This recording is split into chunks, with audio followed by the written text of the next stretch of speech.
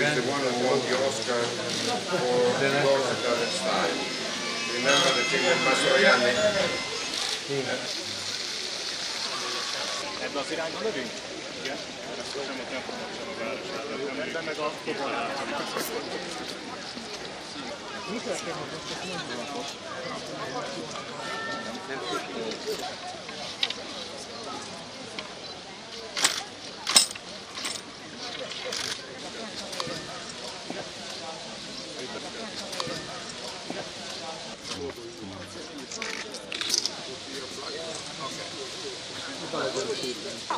My colleagues,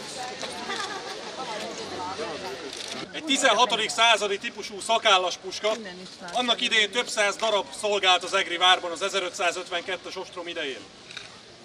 Azért lövünk most, mert emlékezünk az 1552-es dicsőséges vár védőkre és az akkori diadalra, és pontban 15 óra 52 perckor az Egri vár fokáról minden nap eldördül egy-egy ilyen díszlövés. És most abban a megtiszteltetésben van részünk, hogy személyesen Franco Nero fogja elsütni ezt az elöltöltős kanócos puskát Máté Vitéznek az útmutatása mellett.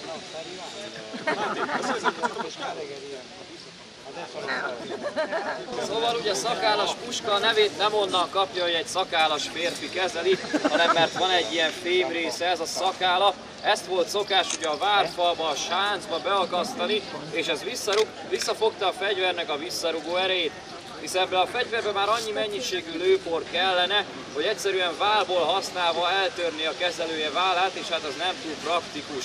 Ezért aztán ugye ezzel a szakállal együtt használják, és bizony-bizony a lőtávolsága már annyi, mint egy ágyúnak. Akár 300-400 méterre is el tudunk vele lőni úgy, hogy az ellenséges tüzéreket ugye kiiktassuk az élők sorából.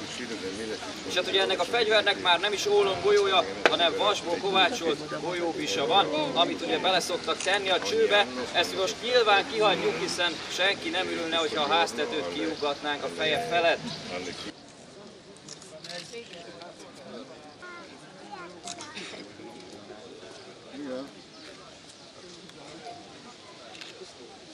Övé!